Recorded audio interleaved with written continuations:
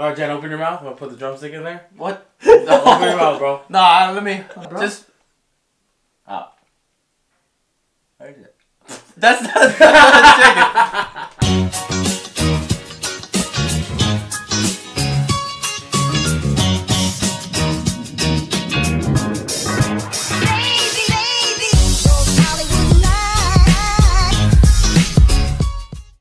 What is up guys? Welcome back to our March mini-series where we put food head to head in a tournament style.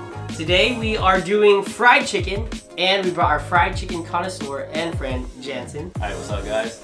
This is Jansen. I'm about to eat some chickens. Alright, so as you guys know, this is gonna be a blind taste test. So we're gonna be having two rounds today. The first round is gonna be drumstick only, and the second round we're gonna go for the thigh. So to do the first round, we're gonna match up number one versus number four for the blind taste test of the drumstick. So here we go. Number four versus number one. We're gonna start with the underdog, the four seed. Here we got our drumstick.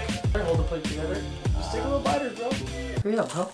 Oh, That's a Jesus. big bite. There you go. Number four seed. How's the chicken taste first? For me, there's not much flavor in it. The texture is really good, like crispy and it's just juicy. I agree with Jansen. Definitely not as seasoned as I'd like it to be. The skin is very crispy though, and the chicken is juicy. Here we go. It's the number one seed now. Alright, Jan, you pick it up first. I might give you a tech for how much lips you're putting on that. Jan, what's your what's your play? This one definitely had flavor, right amount of crispiness. I think it's crispier than the last one. The skin is like you know that extra crunch at the end. I think more flavor, but still for me not that much Not- flavor. not much flavor. But it still has I think better flavor than the before. It's definitely crispier. It is greasier though, right? To me, it feels greasier. I, I still taste the flavor, not unlike the first one. Yeah, there's a little more flavor there, but overall, I think the chicken's just a little greasier. But I'm not complaining. All right. So I'm gonna let you guys talk to each other to pick a winner. All right, John, what are you thinking? Number one seed. I agree with Jansen. I'll go with the number one seed. Number one seed. All right. So it's decided. Number one moves on to the second round. Now for our second matchup, we have the two seed versus the three seed. We're gonna start off with the three seed. Hands out. Hmm. Okay. Brings me back to the old days. I think it was one of my first loves, so crispy and greasy, right amount of flavor. How's the It, just, it was like thin. It wasn't like as crunchier as the other, but it blends well with its flavor. For me, the seasoning is there, but it's a little bit salty. The chicken is good. It has that nice breaded crispiness at the end. You know, after the initial crunch, you still get those extra crispy pieces. All right. Now we're moving on to our number two seed. Hands out, Jan. Hands out. Hands out. This one's a little weirdly shaped, so it's gonna be hard to take a bite. Damn. As a referee, this had the loudest crunch. That's banging.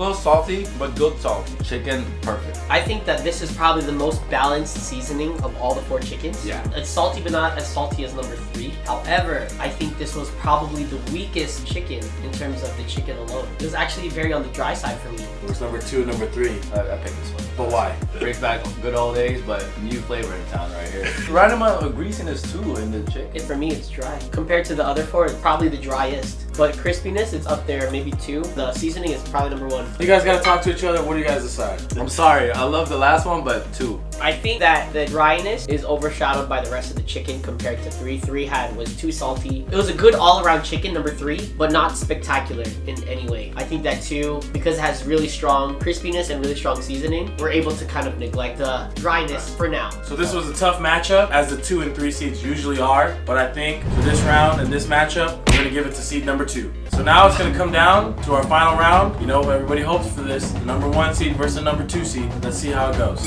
All right, boys and girls, the moment we've been waiting for. Number one seed versus the number two seed in the final matchup to see who's the king of the fried chicken world. Here we go. We're gonna start with the somewhat underdog, the number two seed. Here we go. Hands out. I think I would suggest picking at the skin first. Just grab a little piece of skin if you guys oh, can. Oh, that's, that's good seasoning. Very greasy. Can you navigate me to the best bite? Here, I'm gonna guide it into your mouth. Mm. Jansen, I'm gonna navigate you on another bite. Okay, okay. Okay, this one for me, less of crunchiness, but just too salty for me. Okay. I think it is on the salty side. However, Jansen, you actually said in the previous round that number three was saltier than this one. Really not. Because you said number three was the good old days and number two was like, wow. Yeah, the good old days. This is the New girl in town. This is the new girl in town? Yes. Maybe it's just because of thigh. I was thinking that too. That's- I think it was just too much skin. There was a lot of skin on that one. I. Yeah, there was a lot. I think that this was probably the crispiest of the four chicken, but I agree with Jansen, it is on the saltier side. Regarding the last round, I think that this one was not as dry as the drumstick. That's fine. Number two is putting up a good shot. Here we go. We have number one seed, the big guy. Here we go. Open. Hmm, okay. Wow. What are you thinking, Jen?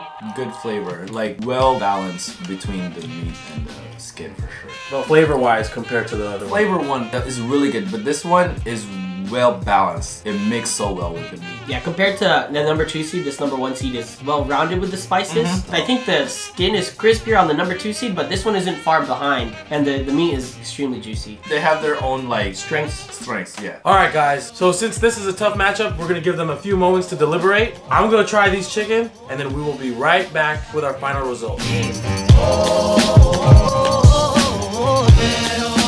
So we're back.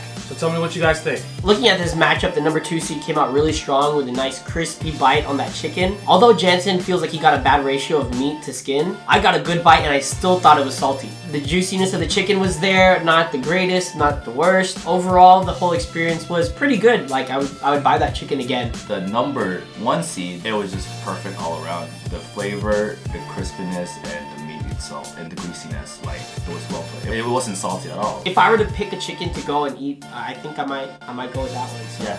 so what's our winner? Winner is number One. All right. So it's settled. In the debate for who has the best fried chicken, we have the number one seed. And to tell you guys, I think you guys know where I got that chicken. Because I got that chicken from Popeyes.